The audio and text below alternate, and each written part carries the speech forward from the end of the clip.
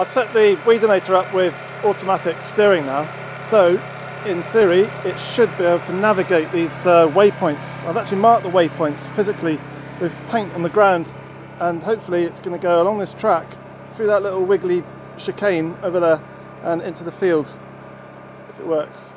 So I've created a series of um, actually five waypoints I think. I think uh, what's this one? That's number one and then there's another one here, number two and uh, what happens is the wheel should hit this line here the machine should stop and then it should download another set of coordinates from the internet and then eventually find its way out into that field.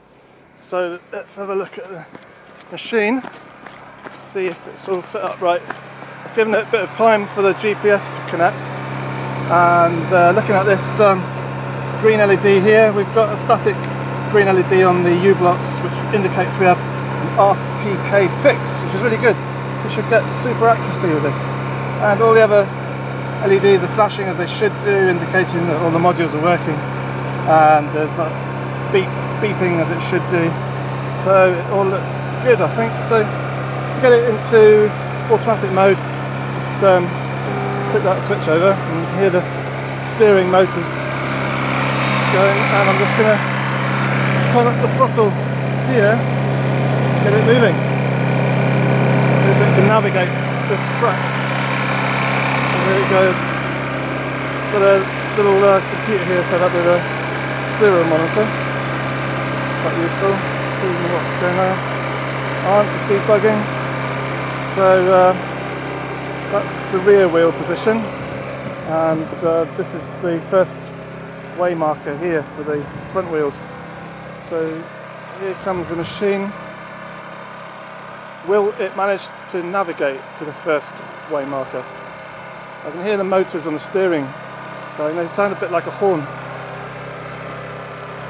There it is.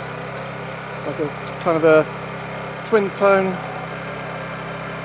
noise because one uh, wheel drives faster than the other when it's steering. That's the differential steering. If the wheels turned at the same speed, they would grind on the surface and um, put a lot of strain on the steering. So the steering itself relies on the power of the wheels to actually uh, assist it. So it's kind of wheel assisted steering. So here's the first way marker. Is it going to hit the line?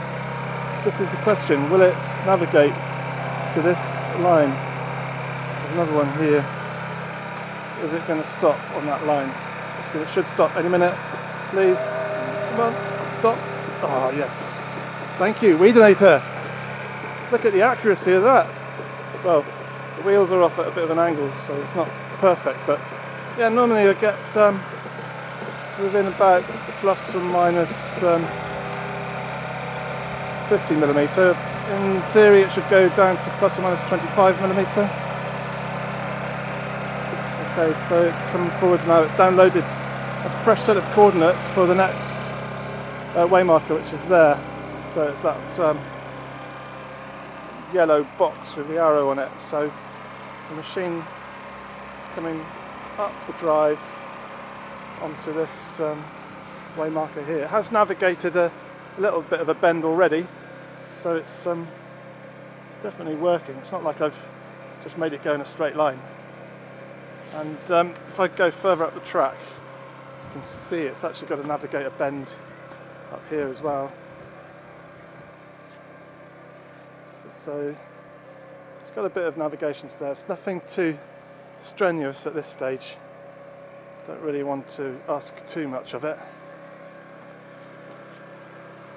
So there she goes. It's coming on to this way marker. How accurate will it be? The um, GPS gives it a heading and then the onboard digital compass actually creates a, um, a uh, the course by subtracting the heading from the compass and you get a, a number which gives you the uh, required position of the of the wheels. And as it gets closer to the, the target uh, the wheels uh, move a little bit uh, further and uh, get higher and higher accuracy. Here it comes. Is it going to stop on those lines like it did before? It's looking a little bit better actually. It's done done a little bit of a, a twist. So it's not gone in a perfect straight line to get to this way marker. It's not too bad. Yep, there we are, we've stopped. Pretty good. I'd say that was within 100 millimetres anyway. You hear a kind of a, a, chuckling noises in the motors and I think that's down to a little bit of um, leakage between the two or two of the cores on the uh, TC275 processor. It's a three core processor and uh, the cores communicate with each other via serial. So there's a bit of leakage there I think, but that's okay. Going to worry too much about that. So it's coming up to the next way marker now. This is so exciting. It's going to go up that drive now. It's doing well.